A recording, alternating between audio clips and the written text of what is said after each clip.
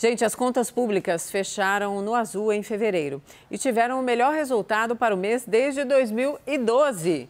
Fernando Nakagawa está aqui para conversar com a gente. Naka, boa noite, bem-vindo. Como noite, é que foi possível isso? Pois é, num cenário em que tantas reclamações sobre Sim. a sustentabilidade das contas públicas e os números vieram no azul. Só que tem uma culpa, tem um responsável disso. Vamos dar uma olhada nos números, Mona. Uhum. O mês terminou então com um saldo positivo ao superávit primário de 3 bilhões e 500 milhões de reais.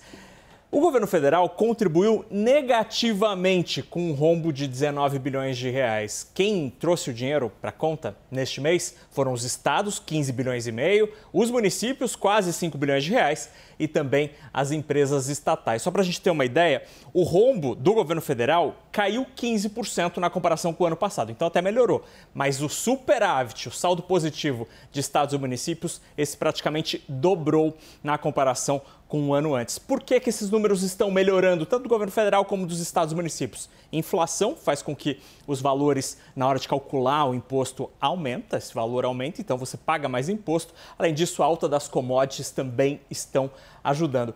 Fechou no azul aqui, Mona, mas é uhum. é importante lembrar que tem ainda o pagamento de juros e foram 26 bilhões de reais em juros só neste mês de fevereiro. E aí a conta no final das contas, ficou negativa em 22 bilhões e meio de reais. Esse é o déficit nominal, de fato, o rombo das nossas contas públicas. Obrigada, Anaka.